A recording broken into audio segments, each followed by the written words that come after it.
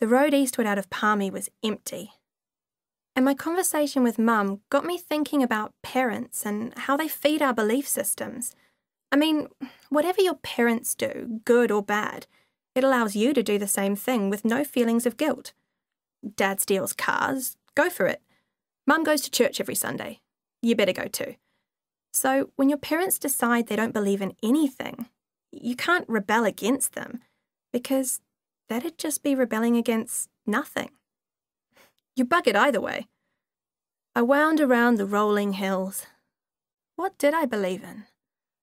There was a hand in the darkness, and it held a knife. The knife had a handle of polished black bone and a blade finer and sharper than any razor. If it sliced you, you might not even know you had been cut.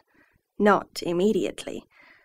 The knife had done almost everything it was brought to that house to do, and both the blade and the handle were wet.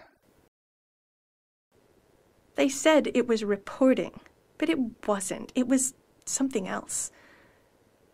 It went out on televisions all over the world as actuality, and what it was was a performance.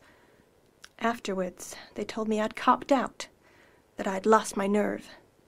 I don't know. Maybe I have. Anyway, they all got awards for that report, and I just felt confused. With more than 142,000 recognized species, moths are lords of the Lepidoptera, far outnumbering butterflies. Inhabiting nearly every corner of the planet, they come in a welter of forms some as dainty as snowflakes, others as big as bats.